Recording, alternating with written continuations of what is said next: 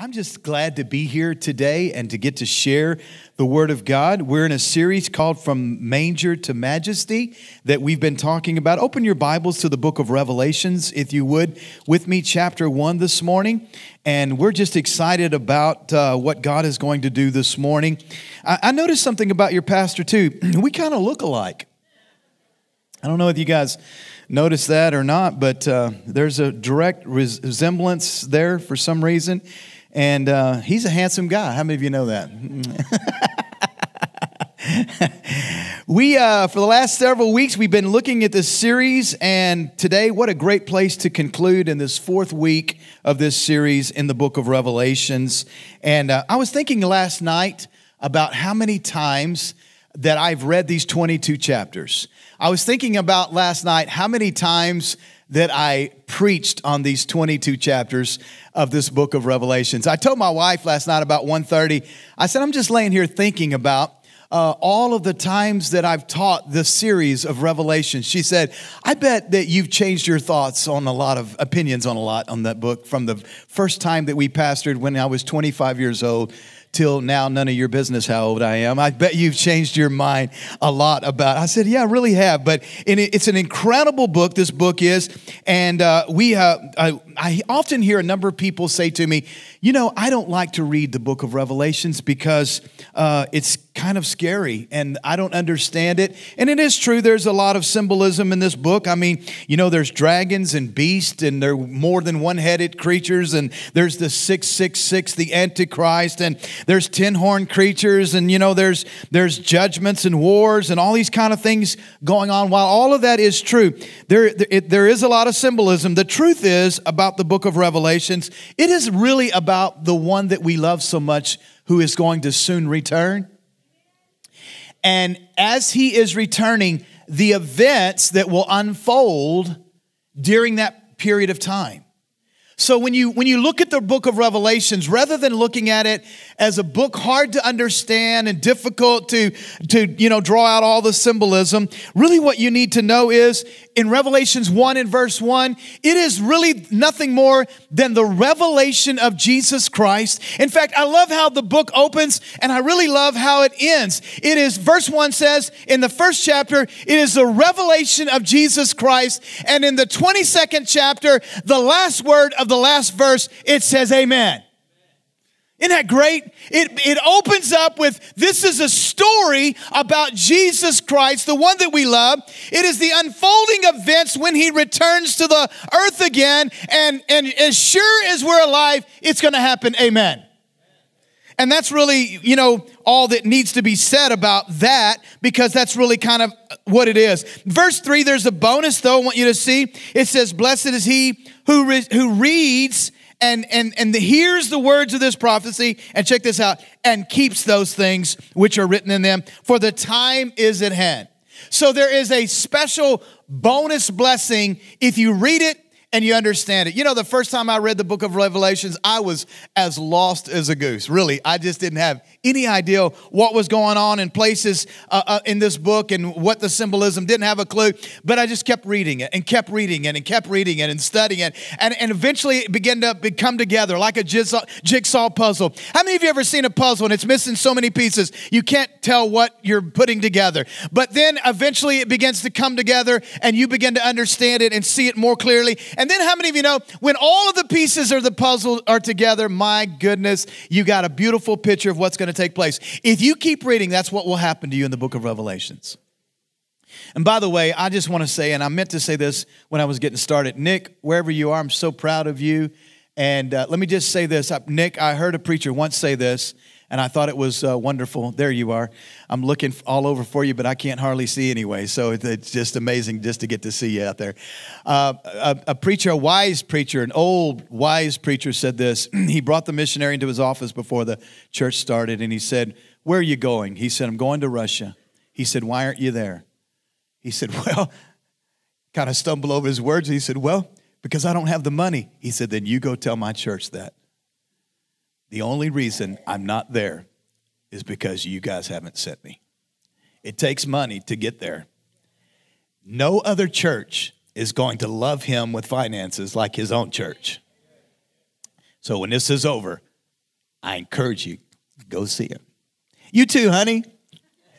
You take our checkbook and go see him. A little history here as we get started. Let's pray together. Father, thank you for the opportunity to share about this incredible book of Revelations. And thank you for the revelator, the one who revealed himself to John.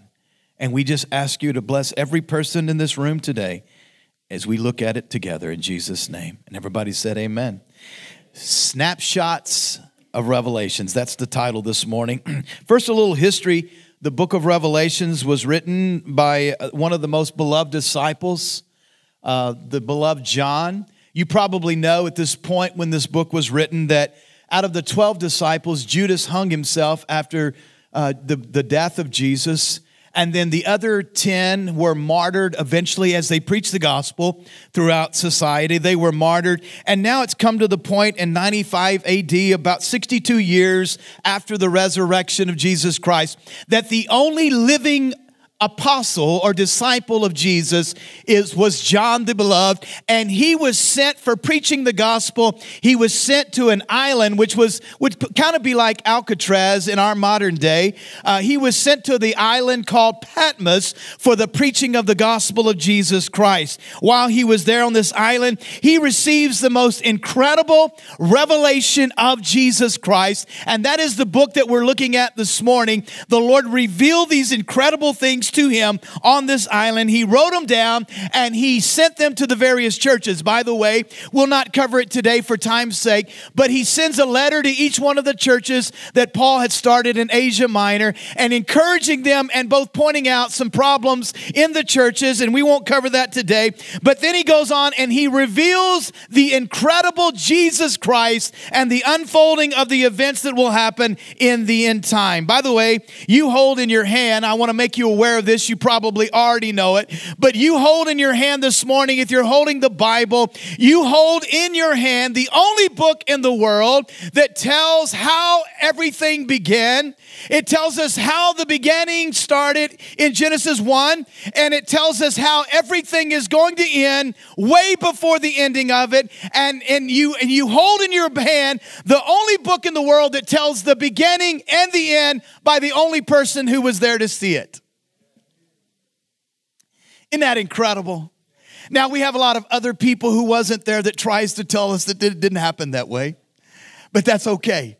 But we have the only book in the world who the author of it all tells us how it began and tells us how it's going to end. Incredible.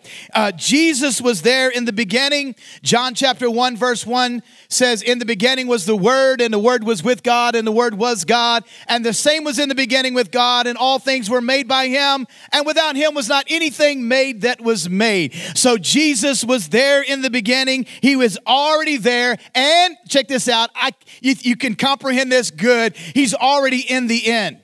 that's that's that's above that's above me. But let me just say it it helps me to understand it a little better this way. If i say it to this, this way to myself he stepped out he stepped into time. Check this out. He stepped into time and he revealed himself as the savior of the world and then he stepped back out of time and he brought it to pass.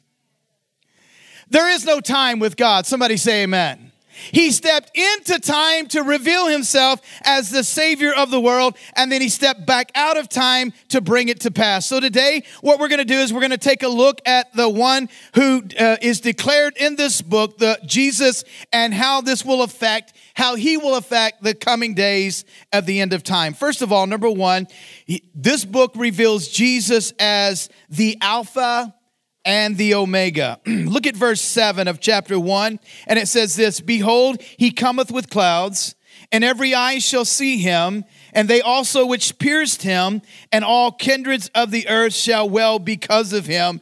Even so, amen. Verse 8 I am the Alpha and the Omega, the beginning and the ending, saith the Lord, which is, and which was, and which is to come the Almighty. Come on, say a good amen.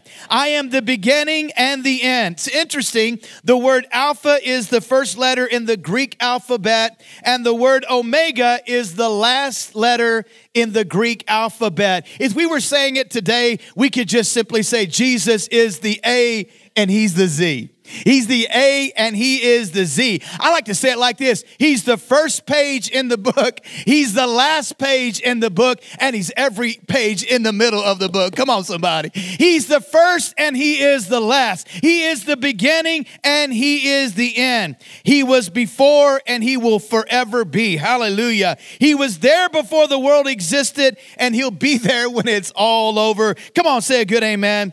What does that mean to you and me? It means don't worry. Don't be troubled. He, he is everything. Uh, verses 13 through 17, same chapter.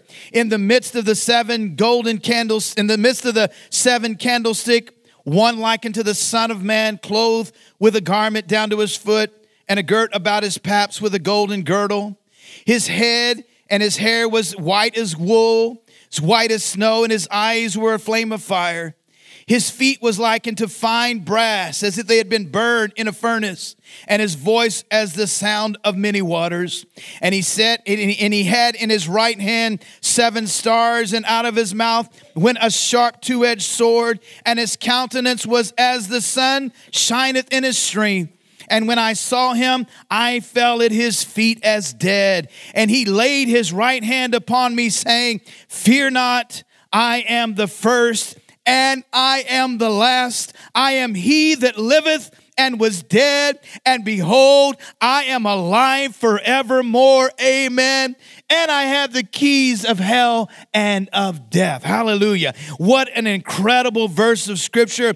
This just tells us listen, when the Lord said he would never leave you or never forsake you, he meant it. He's going to be there all the way through. I love verse 18. I'm he that liveth and was dead, and behold, I'm alive forevermore, and I have the keys of death, hell. Everything belongs to him. That encourage it encourages my faith faith so much. Hallelujah. He said he'll never leave me or forsake me. He'll never leave us or forsake us. He, listen, when you think about it, the takeaway is this whatever happens in the end of time, whatever happens in the end of time, he's going to be with you.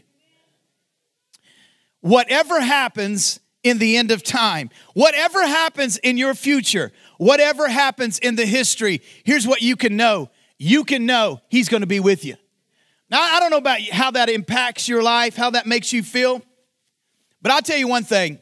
My wife has made me that same promise that whatever happens in our life, if we're if we're bountiful, if we're if we're broke, whatever happens, she's going to be with me. If I'm sick, she's going to be with me. If I'm healthy, she's going to be with me. If I'm happy, she's going to be with me. If I'm ugly, she says she's still going to be with me. That encourages me a lot.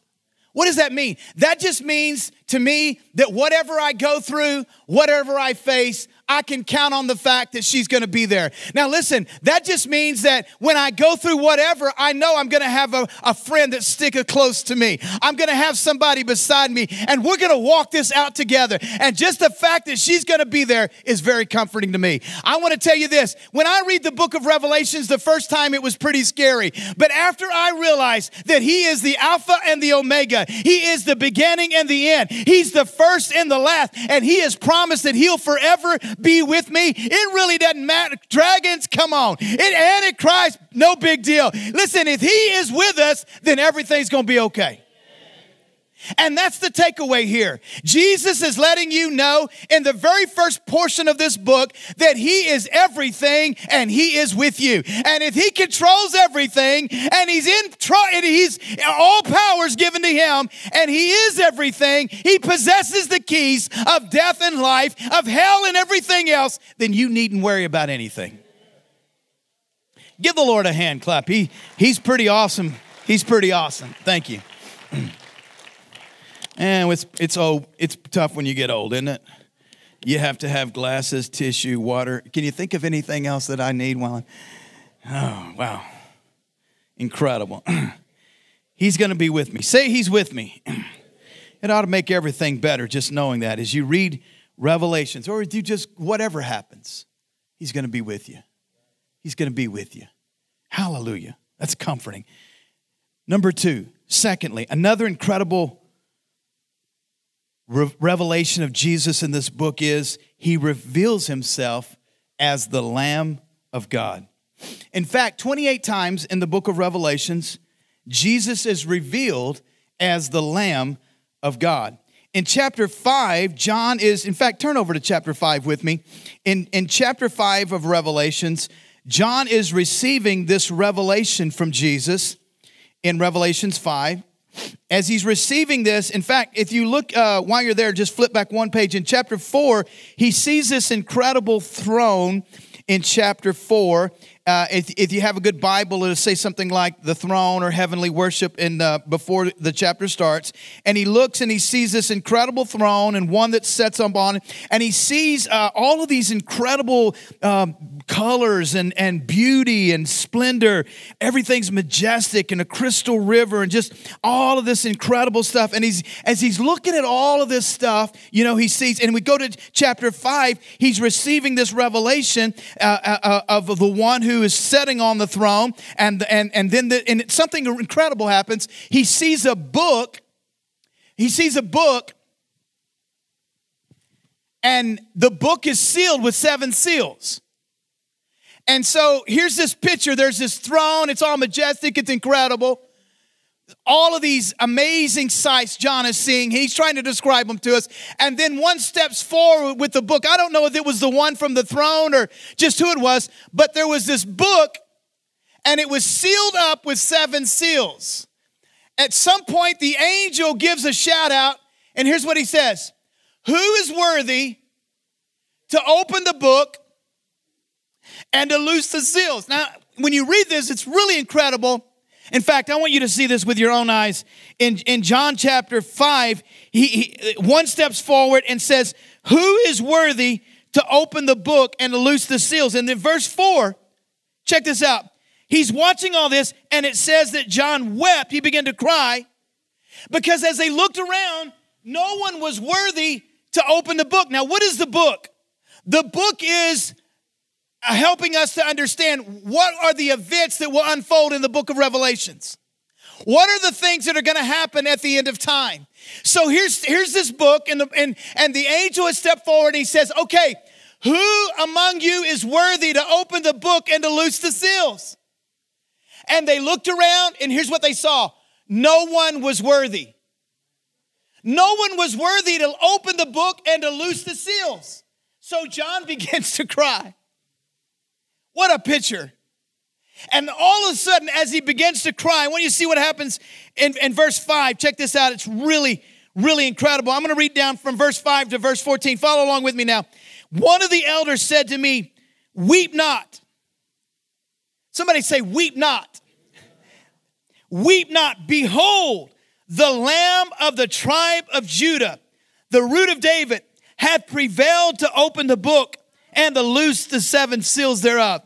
And I beheld, look, check this out, everybody. I beheld, and in the midst of the throne and the four beasts, and in the midst of the elders stood a lamb as it had been slain, having seven horns and seven eyes, which are the seven spirits of God sent forth into all the earth. And he came, and you imagine this imagery now. Imagine this. Now, now, everybody look up here for just a minute. Stop reading for just a second. Look up here. Imagine now, I don't know how many people there. Could have been millions and millions of people.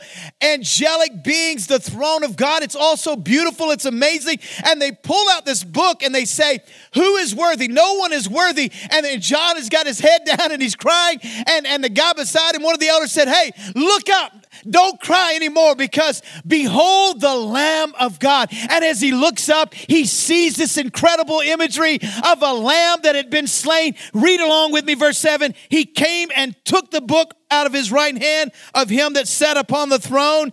And when he had taken the book, the four beasts and the 20 elders fell down before the Lamb, having every one harps and vials full of odors, which are the prayers of the saints. And they sang a new song, saying, Check it out, everybody. You know, we sang this song here this morning. I noticed that in a couple of our songs this morning, we were singing the same words You are worthy to take the book, worthy is the Lamb to open the seals thereof, and that you were slain and have redeemed us to God by the blood out of every kindred, tongue, people, and nation. Somebody say, You are worthy.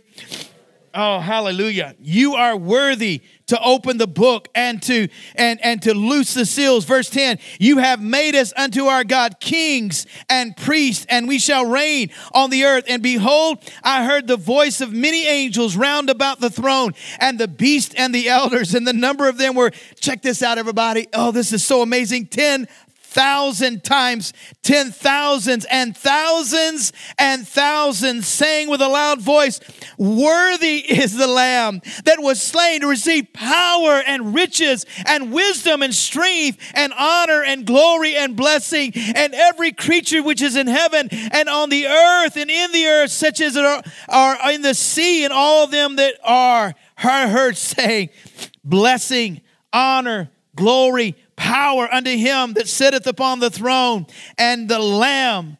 Hallelujah. Can you imagine that? Now, have you got this picture? I'm sorry, I'm, I'm just a, I'm still a little bit of a titty baby when I think about this. But can you imagine this picture? John's got his head down and he, he, he sees this incredible picture, a lamb as it had been slain. And then he hears thousands and thousands and thousands and thousands of people. And it didn't say they were worthy is the. They were crying out with a loud voice. Worthy is the Lamb. Worthy is the Lamb who has been slain. Hallelujah. Can you imagine? Incredible, incredible stuff we're seeing here. Now, what is the takeaway here? The takeaway is early in the Old Testament, Moses introduces the concept of a lamb. And in order to have your sins covered back in that day, you had to kill the lamb and offer the sacrifices. And that continued all the way up to the time of Christ. John the Baptist said, Behold the Lamb of God. Revelation, and listen, the New Testament tells us we all know that there's not a lamb anywhere that can take our sins away. There is no lamb in the pasture anywhere pure enough, good enough, clean enough, perfect enough to cover our sins. In fact, we're told many times in Hebrews that there is no there's there's no atonement through that. It was a temporary method of getting us to the lamb. But thank God Revelations introduces us to the one. Listen to this. He doesn't just take our sins away for this year, but he takes our sins away. Hallelujah. He covers us. Hallelujah. In fact, listen, in order for you to understand this fully, the Bible gives us some pictures of this. He says he, he cast it into the sea of forgetfulness. It's as far as the east is from the west. You're not going to find him anymore. The Lamb has shown up. He has appeared. He is, he is worthy. He's covered you. He's taken your sins away. Give the Lord a good clap offering, everybody.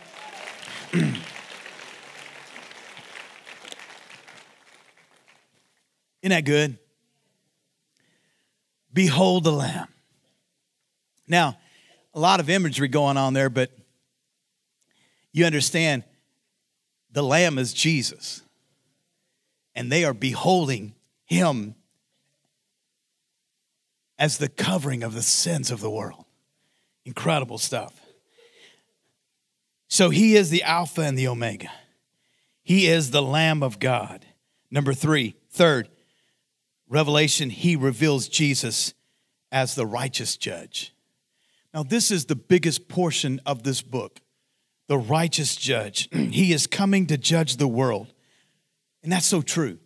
Jesus is coming to judge the world. In Revelations chapter 6 through 18, if you're taking notes, in Revelations chapter 6 through Revelations chapter 18, a number of judgments are released on this ungodly time period of mankind, beginning with the here of these seals. Did you note, if you notice, as the seals were open, remember uh, John saw uh, here was a book and it was sealed with seven seals. No one was worthy to open the book. And the Lamb of God appears, Jesus, and he they start saying, Oh, you are worthy. Oh, you, you are worthy. You've been slain. You've covered our sins. And so he takes, and you know what he does? He opens the seals. And when he opens the seals, you if you've never read the book of Revelations, you don't you probably don't know what happens. But if you do, then you know what happens. A white horse goes forth and it brings judgment upon the world. And then we see a red horse. He opens the second seal, and a red horse goes, and we see blood and war and destruction and all kinds of things. And then a black horse goes forth, and we see death and destruction and all these judgments being poured out upon the world. And then a pale horse goes forth, and we see all these judgments. So every time he opens these seals, we see these incredible judgments going out upon the world. And then if you flow on in the book of Revelations, you come to chapter 8, and there are these seven trumpets. And when these trumpets sound, you know what happens? Judgments are poured out on the earth. And they're incredible judgments. When you read them, they're just, they're, they're, they affect everything the water, the sun, the, the sea, the everything, the moon, every part of our society is affected. Chapter 16, you see seven vials poured out upon the earth. And when you read them, they're so incredible. They just, this, it's horrible. You know, you find yourself vexed with sores. Men are vexed with sores. Water contaminated. Fish is dead. Blood in the rivers. Like, you know, a lot of like, a lot of like the judgments that you see in the time of Moses. Same type of thing. Destruction everywhere. Judgment is being poured out, and then darkness comes, and demonic spirits are released. Incredible stuff happening. And and and and, listen to this. Everybody, look up here for just a minute. All of these things are being poured out on the world because God is giving them one last opportunity to repent before He destroys them. And you know what the Bible says in Revelations? Instead of repenting, they hardened their heart just like Pharaoh did. Do you understand that everything you see in Exodus, what happened with Moses, a picture of the lamb, a picture of a picture of the deliverer, a picture of the one who would bring them out. Come on, that's a picture of Jesus. The judgments that are being poured out upon Pharaoh, which is a picture of the world and all that was taking place in that time, and then the church getting out of there, children of Israel getting out of there and heading toward the promised land. Everybody, it's the same picture of what's going to take place. And did Pharaoh repent? No, he hardened his heart and he went right after him. And finally, the final judgment was God destroyed him. And that's exactly what's going to take place in the book of Revelations. But before it does take place, you see these incredible judgments being poured out. There's an old saying, and I want to share this with you because I feel like this is so important for somebody in this room. I started to write this down and then I decided not to, and then it was like something said, say it. So let me just let me just say this an old saying that says we don't have to take matters in our own hands and try to settle every score or make all the wrongs right. You know why? Somebody's done something to you and you just feel like you have you just feel like you need to make that wrong right or you just feel like you need to settle that score or whatever. I'm going to tell you something. There is a righteous judge coming one day, and he is going to judge every single person who's ever lived. And here's what we want to do as the children of God we want to do the things that are right so we can stand before, or actually, we can kneel before that righteous judge and we can, and we can have confidence that we've been covered by the blood of Jesus. You don't need to right every wrong. Someone has borrowed money for you, somebody's, somebody's taken advantage of you, somebody's molested you, somebody's hurt you somebody's lied to you, somebody's cheated you, somebody's done something to you, put it in the hands of the righteous judge. And the day will come where God is going to make all the wrongs right. Listen, the Bible is very clear. As I live, saith the Lord, every knee shall bow to me, every tongue shall confess to God, and every one of us are going to give an account of ourselves to God. Every king that's ever lived, every choice, every president who has ever made, every person in Congress, every person in society, right on down to the poorest of people, everyone will get, listen, there'll be no big eyes in those days and little U's. Everybody's going to stand before God. And what you want to do is you want to be in right standing with God. we spend a lot of our lives trying to even up things that we need to put in the hands of God.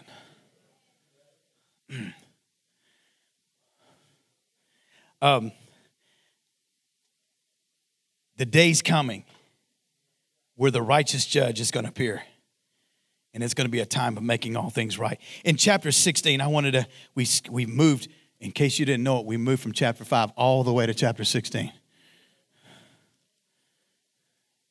If you're wondering why I'm talking fast, we only have 22 chapters here. Chapter 16, look at verse 5. And I heard the angel of the waters say, Check this out, everybody. All these judgments have been poured out from chapters 6 to chapter 16.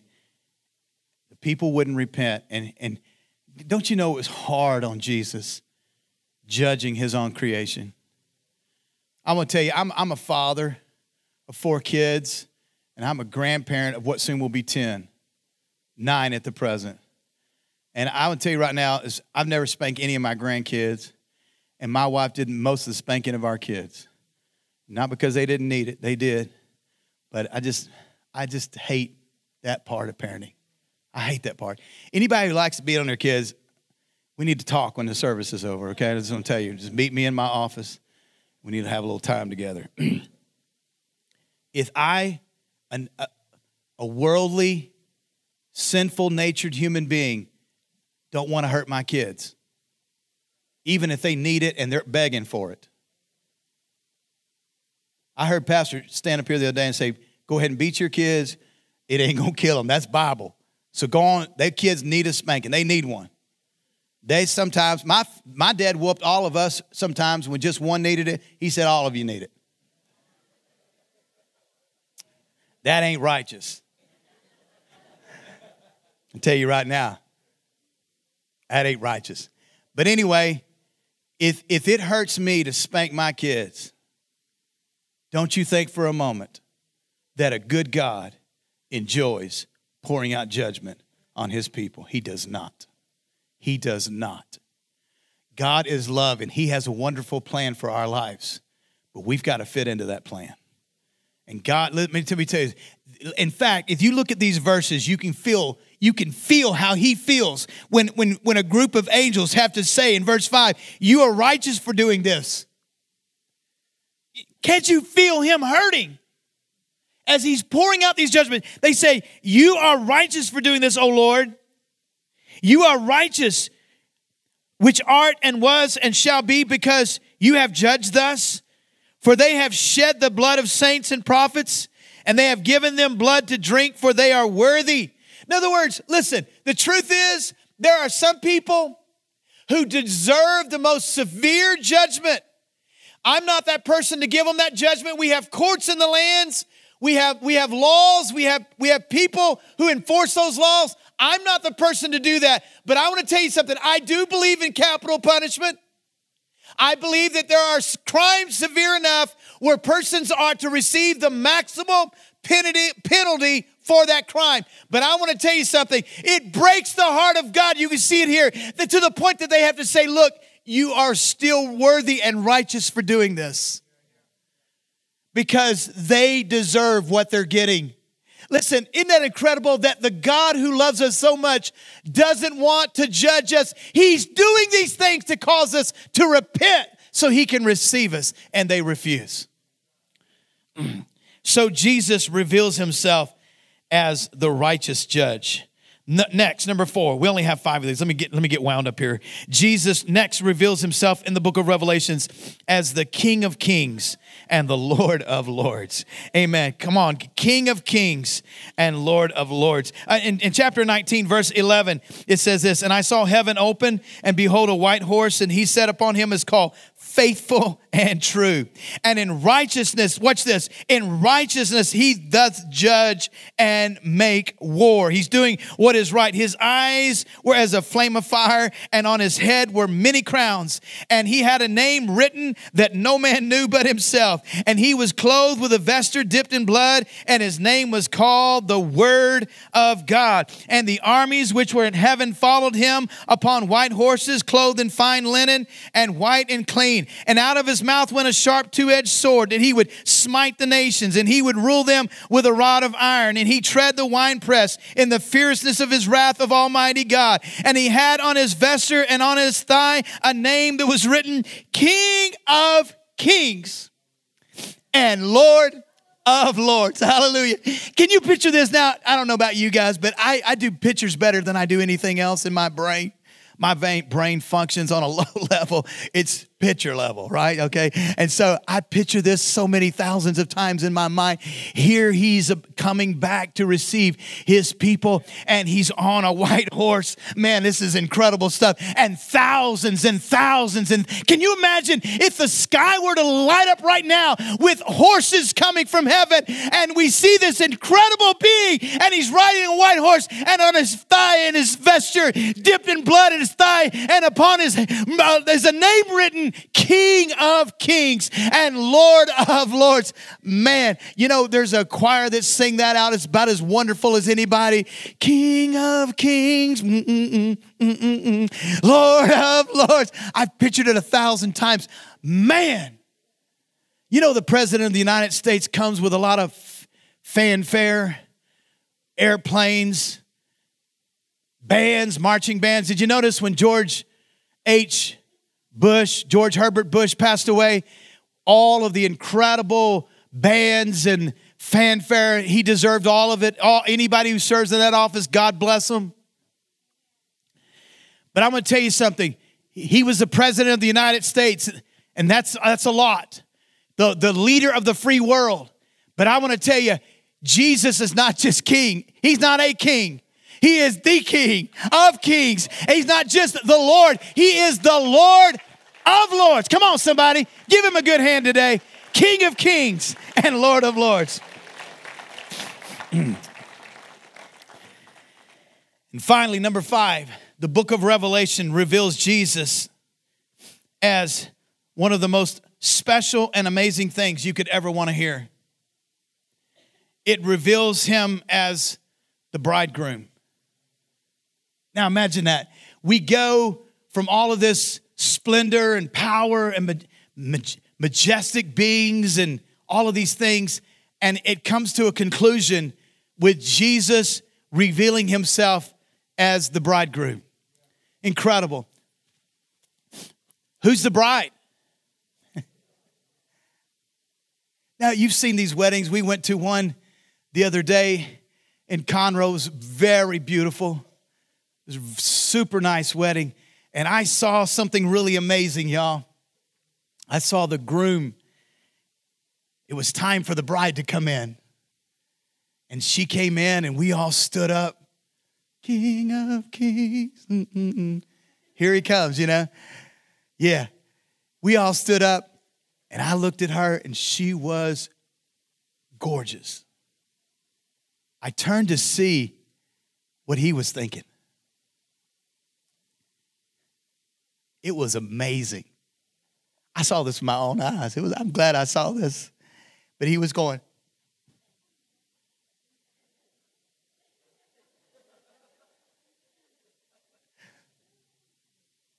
He was, wasn't he? he was blowing. Like, I need to cool down. I need to cool down. It's of hot in here. Listen, this is so incredible. Jesus Christ reveals himself as the bridegroom. Now, check this out, everybody. This is so amazing at the close of this book. In the Jewish custom, the groom would have to go to prepare a place for the bride. And he would have to ask his father. He's putting together, this was a long time ago. It's not like building a new house but it was a place. And he would ask his father, Is that good enough? father say, Not good enough. You need to tighten up here a little bit. You need to fix that up a little bit. You need to better that a little bit. And he would say, Father, is that good enough? Is that good enough? Is that good enough? And the minute that he finished, the place that he had prepared for her, the father would say, Go get your bride. And that's why you read in places in the Bible that if behold, the bridegroom comes at midnight, because they didn't know what time he would finish up. They didn't know what time he would be prepared. They didn't know what time to be prepared. You know, we read in another place that said, if you knew what time the bridegroom was coming, you would have been prepared. But they didn't know. So the, the bridegroom, he would just go at whatever time he would finish and he would get his bride and he would bring her home and he would give her the place that he's prepared for her. Now, listen, everybody, Revelations ends on a very high note. It is Jesus Christ coming after his church. And when he comes after his church, he catches his church away. And the Bible says that he has gone to prepare, and, and John, John, it says this I go to prepare a place for you. And if I go to prepare a place for you, I will come again to receive you unto myself, that where I am, there you may be also. Hallelujah. He's prepared a place. What kind of place?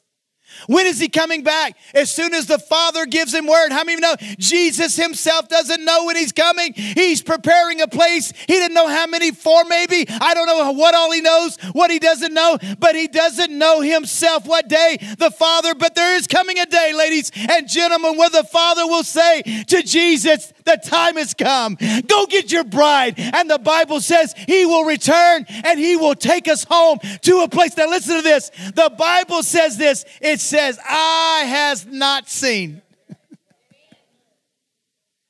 I always like to say it like this, y'all. This tickles me to death. If Jesus can speak the world into existence in seven days, all of this in seven days, how long has he been gone? How long has he been gone? What can he do in a thousand years? Here's what the Bible says Eye has not seen, ear has not heard the things that he has prepared for you. Eye has not seen, ear has not heard. Listen, they are at this very moment preparing a wedding feast in heaven for all of you folks and every believer that has ever believed in Jesus Christ. A banquet like you've never seen before. A bride is about to receive the groom, and the time is drawing near. Now, I want to end with this verse in fact, did I read verses 9 and 10 of uh, Revelations 21? I don't think I did. Let me read that real quickly. Revelations 21, 9 and 10. You got to have a plan, I guess. And there came unto me one of the seven angels, which had seven vials full of the seven last plagues, and talked with me. Watch this, everybody. Come here. I want to show you the bride, the Lamb's wife. And he carried me in the spirit to a great and high mountain, and he showed me that great city the holy Jerusalem descending out of heaven from God. Oh, and he uses the next number of verses to tell you about some of the splendor and the beauty and the majesty of the place that he is preparing. An eternal land that is so amazing that we cannot even think that high. I want to end with Revelations 22. Band, come on, and singers, help me. I want to end with, turn one more page. Revelations 22. I want to end with what I believe to be two of the most powerful verses in the closing chapters of this book. Look at it with me. Verse 6. And he said to me, These things that I'm telling you, these things that I'm showing you, these things that are written in this book are faithful and they're true. And the Lord God, it doesn't get any bigger than that.